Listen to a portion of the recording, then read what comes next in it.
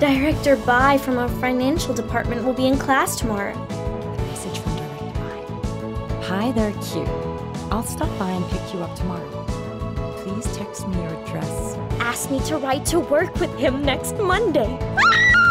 Property management. I'm Fan Shengmei from room 2202. My roommates and I are trapped in the elevator. My two property owners from the 22nd floor as well. Jump!